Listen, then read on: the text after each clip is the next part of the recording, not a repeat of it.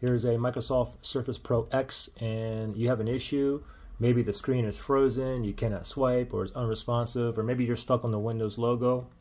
Anyway, it's an easy fix. Okay, what we're going to do is we're going to force um, your Surface Pro X to restart. Okay, so it's very simple. The only thing you got to do is press and hold this power button and continue to hold. Don't let go until you see a Windows logo appear. Okay, so let's pretend like I can't swipe, I can't restart or nothing. Okay, the screen is totally unresponsive. We're going to go ahead and force a restart right now. Okay, so you got the power button here. The lens is up here, so the power button's on this on the right side here, and of course the left side is the um, volume rockers. So here's the power button. We're going to do it together. Ready, set, go. Press and hold, and do not let go until we see the Windows logo. So I'm still holding here. Don't worry, don't worry about what's happening to the screen. Just continue to hold that power button and just wait patiently until we see that uh, Windows logo appear. Just wait. Still holding here. Come on. Still holding the power button. There's that Windows logo.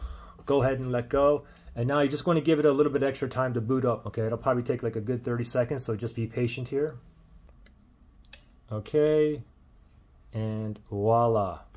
Now your screen should be working, okay? If you still have a uh, issue with the screen, try it again. Press and hold that power button. Do not, do not let go until you see the, uh, the uh, Windows logo, okay? Pretty simple. Any questions or issues, comment below. Good luck.